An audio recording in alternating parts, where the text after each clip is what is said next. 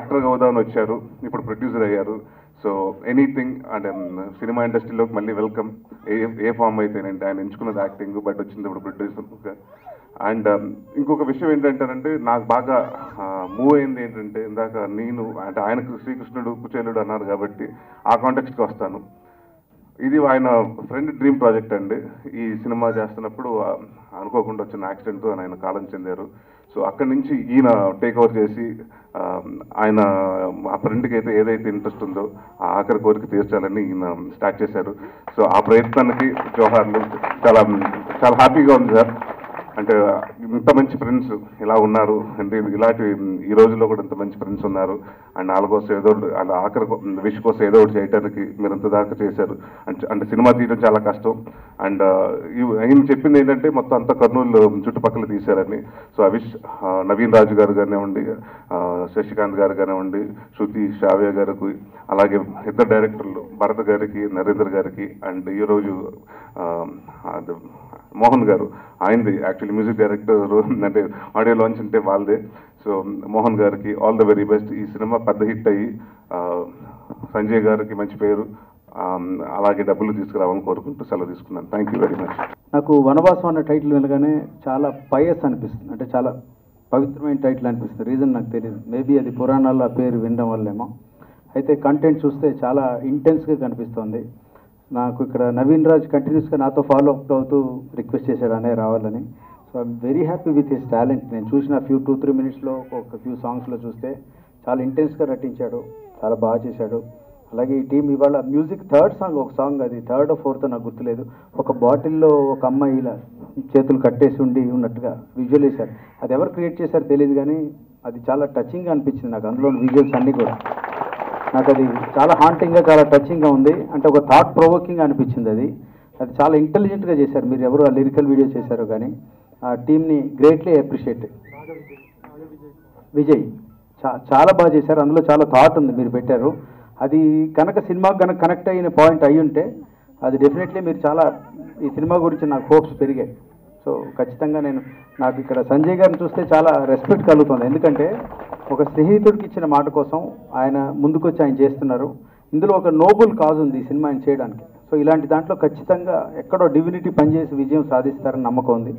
So అలాగే Bharat and Narendra వీళ్ళిద్దరిని కూడా as directors and Naveen and uh, Shruti Shravya I fam right correct so మీ అందరికీ with them entire team all the best అలాగే DOP works కూడా బాగున్నాయి. Prem Vincent అని చెప్తున్నారు.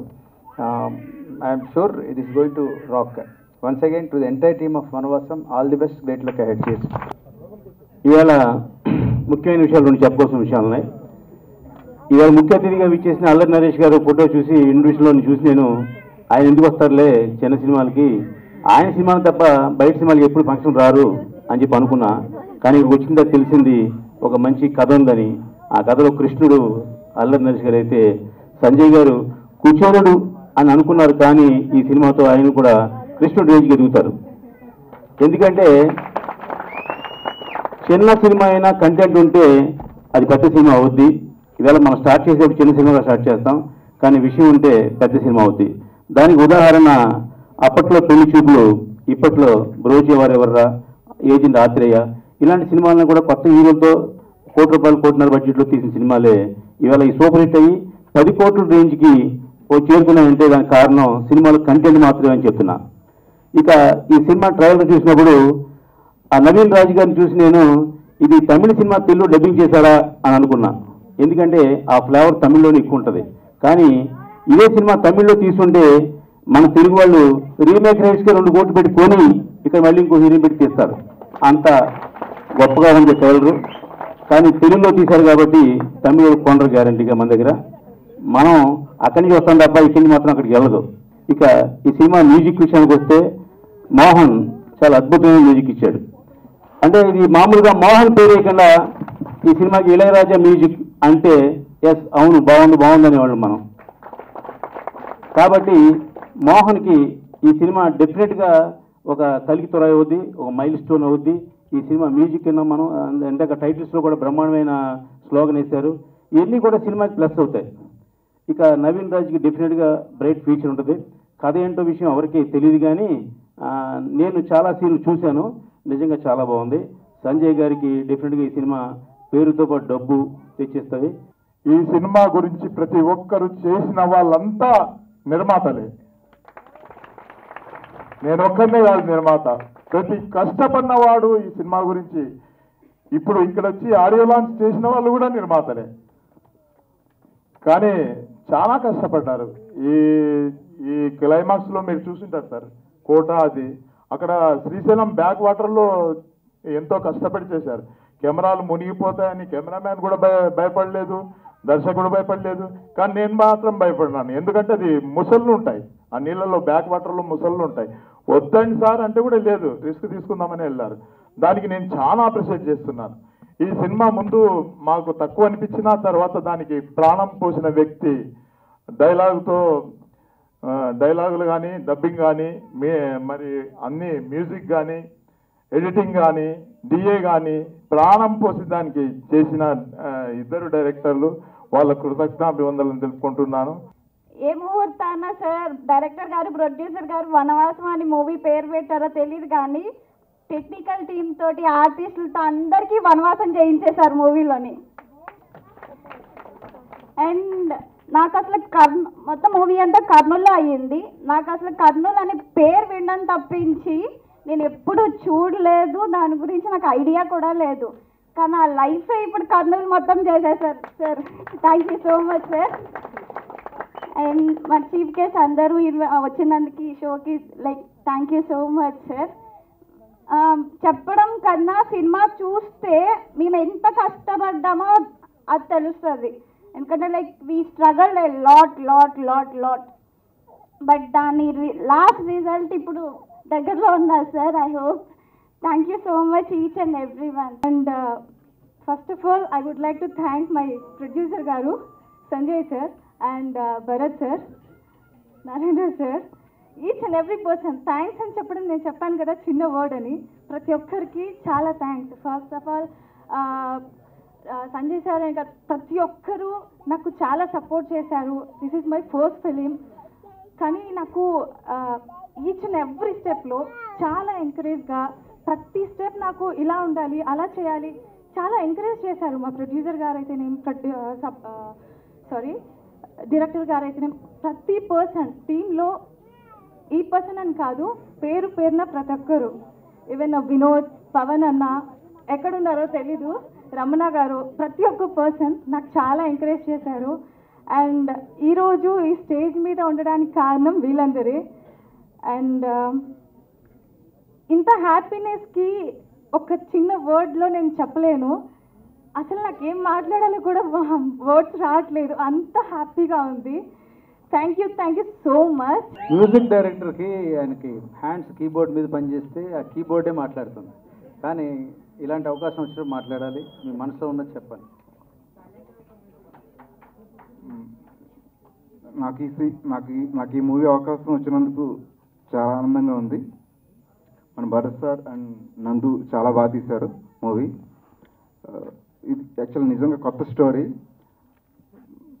నాకు నాకు అవకాశం ఇచ్చినందుకు అందరికీ ధన్యవాదాలు తెలుపుకుంటూ సెలవు సెలవు నిజంగా ఈ మూవీకి మేము వనవాసం చేసామండి మా సార్ రాముడిలాగా మేము భరత లక్ష్మణులాగా ఆయన వెనకాలే ఉండి ఈ మూవీకి నిజంగా వనవాసం చేశాం. అసలు ఇంతవరకు వస్తుందని అసలు మేము కళ్ళ కూడా అనుకోలేదు. కానీ చా మా ప్రొడ్యూసర్ గారు చాలా చాలా కష్టపడ్డారు.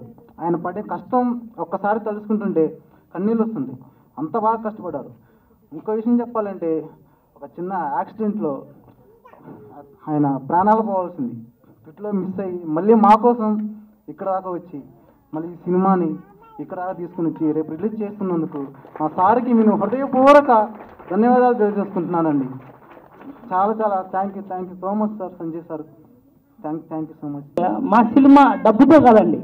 కన్నీళ్ళు రక్తము షుగరు బీపీ అన్నీ టోటల్ ఇది కాదు ఒక ఎయిడ్స్ క్యాన్సర్ తప్ప ఆల్మోస్ట్ అన్నీ వచ్చేసినాయి అందరికీ. అంటే అలాంటి ఎవరిని ఇలా టచ్ చేసినా పవర్ ఏ సిచ్యువేషన్లో ఎలా ఉంటారో తెలియదు. ఏంటంటే ఏం అసలు ఏం ఉంటున్నాము ఎలా ఉన్నాము ఏంటో తెలియదు.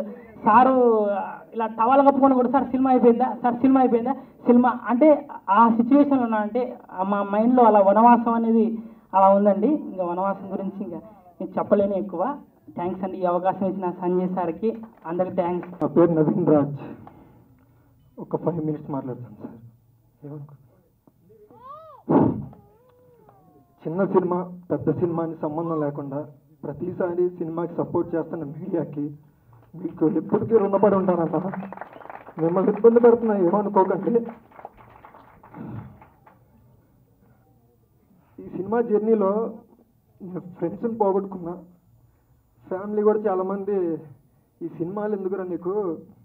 చిన్న కథ చెప్తానండి. పది సంవత్సరాల క్రితం ఒక అబ్బాయి వెయిటర్గా పనిచేశాడు.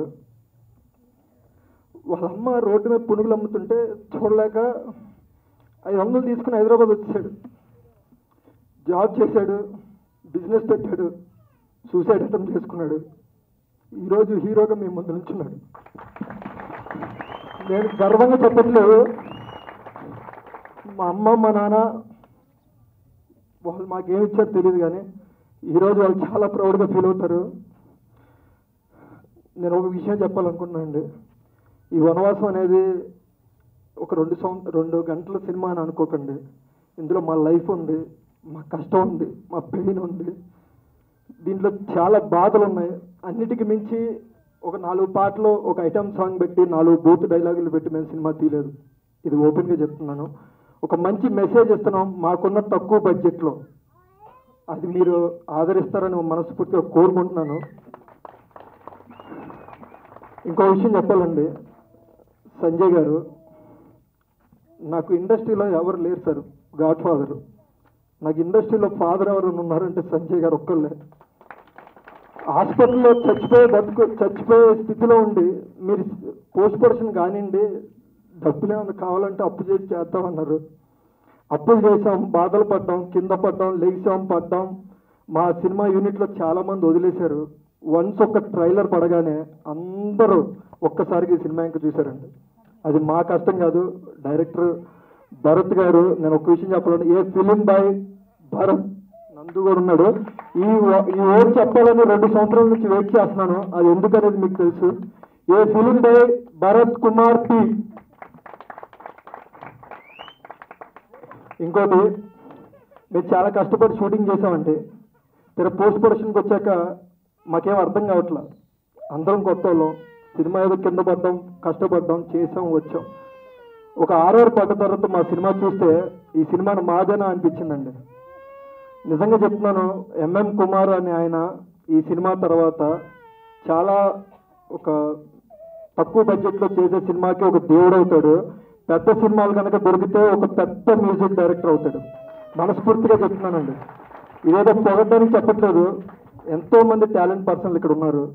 ఒక్క అవకాశం ఏంటంటే ఒక రిలీజ్. అదొక్కటైతే ఇందులో చాలామంది ఆనిముత్యాలు బయటకు వస్తారండి అలాగే మాతో వర్క్ చేసిన శ్రావ్య గారు కానీ శృతి గారు వీళ్ళిద్దరు బాగా కష్టపడ్డారు. అండ్ నాతో పాటు శశి గారు చాలా అంటే చాలా కష్టపడ్డారండి. అండ్ మెయిన్గా నేను ఒక విషయం చెప్పాలనుకుంటున్నాను. డైరెక్షన్ డిపార్ట్మెంట్ అండి. వాళ్ళకు ఒక్క రూపాయి కూడా మేము పే చేయలేదు ఫస్ట్లో అందరూ రెండో రోజు షూటింగ్ జరిగేటప్పుడు బ్యాగులు చదువుకుని వెళ్ళిపోతున్నారు. ఎందుకంటే మేము చేయలేమన్నా అన్నారు. తర్వాత రోజు మా అందరి కష్టాలు చూసి ఈ రోజు వరకు ఉన్నారండి అందరూ. కానీ ఒక్కడు మాత్రం లేడండి. శివాని అని ఇండస్ట్రీ వదిలేసి వెళ్ళిపోయాడు. నేను ఆర్టిస్ట్గా ఫోర్ ఇయర్స్ అయిందండి. చాలామంది అన్నారు బిజినెస్ చేసే చేస్తున్నావు కదరా మళ్ళీ ఇందులో ఎందుకు దిగా ఊపిలో అని. నేను వెయిటర్గా ప్లేట్లు ఎత్తేటప్పుడే డిసైడ్ అయ్యానండి యాక్టర్ అవ్వాలని అందరూ అర్థం చేస్తారు వస్తారు ఫస్ట్ ఫ్యామిలీ సెట్ చేయాలి కాబట్టి సెట్ చేసిన తర్వాత ఈ రోజు నేను దిగానండి. చాలామందికి అవకాశం దొరకదు నాకు దొరికింది. వాడు అరే నువ్వు ఎందుకు వెళ్ళిపోయావంటే నాదే ఉందన్నా నువ్వు మంచి యాక్టర్ అవుతావు నువ్వైతే మా లాంటి వాళ్ళు పది మంది వస్తారు అన్నాడు. ఈరోజు ఆడు లేడు. ఆడు ఈరోజు ఎక్కడున్నా కూడా చాలా గర్వంగా ఫీల్ అవుతాడు. ఎక్కువసేపు మాట్లాడుతున్నాను క్షమించండి. నా కోసం నా ఫ్రెండ్స్ ఫ్యామిలీ చాలామంది నన్ను వదిలేశారు. కానీ ఇంతమంది నుంచి చూస్తుంటే నాకు చాలా ప్రౌడ్గా ఉంది. మా కోసం ఇంతమంది వెయిట్ చేస్తున్నారంటే మేము గొప్పలం కాదండి. ఆ టైటిల్ గొప్పది ఆ తీసిన వాళ్ళు గొప్పలు. ఈ సినిమా నేను బాగా చేశానంటే దానికి ప్రతి అణువు అణువు ఈ టీం ప్రతి ఒక్కరు వస్తారు. లైట్ మోషన్ ఆయన నుంచి డైరెక్షన్ డిపార్ట్మెంట్ నుంచి డైరెక్టర్ గారి నుంచి ప్రొడ్యూసర్ గారి నుంచి. తర్వాత నెక్స్ట్ సినిమా నేను ఏమైనా బాగా చేశానంటే కనుక అది నేను చేసినట్టు. ఈ సినిమా నేను బాగా చేశానంటే మాత్రం అది అందరు కష్టం.